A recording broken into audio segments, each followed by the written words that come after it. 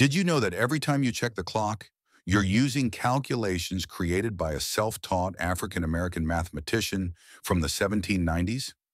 Benjamin Banneker developed the precise astronomical calculations that became the foundation for America's entire timekeeping system. Working alone with handmade instruments, he tracked celestial movements with stunning accuracy.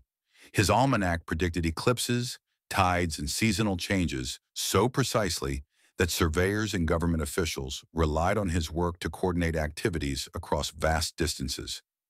Banneker's mathematical framework for dividing the continent into standardized time regions directly influenced the creation of the U.S. Naval Observatory. His calculations became the scientific backbone for railroad scheduling and telegraph timing. When trains needed to run on time across thousands of miles, they used his astronomical mathematics. His work eventually shaped global time zone coordination. Every synchronized clock, every scheduled meeting, every coordinated activity traces back to calculations made by a brilliant mind history tried to forget. The hidden genius behind modern timekeeping was always there, waiting to be recognized.